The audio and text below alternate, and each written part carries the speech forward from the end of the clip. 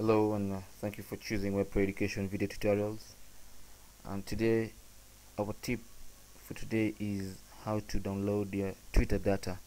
That means how to download everything you have in your Twitter account from the first tweet you posted every picture you've ever shared on Twitter every comment you've made.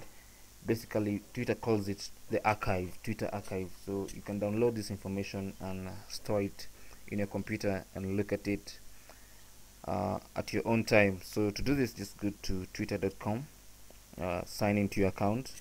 Can sign in. Then uh, there's a settings button here. And click on settings.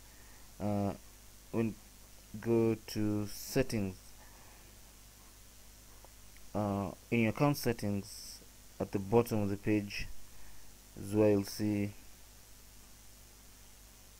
re request your archive so when you click that then uh, Twitter will acknowledge that it has received your request and a link will be emailed when your archive is ready. So Twitter will prepare the archives and when they are ready they will send it to your email. So you gotta keep checking your inbox for an email from Twitter. So as soon as they're ready they will send the link to you through your email where you'll find a download link inside and you can download your Twitter archive.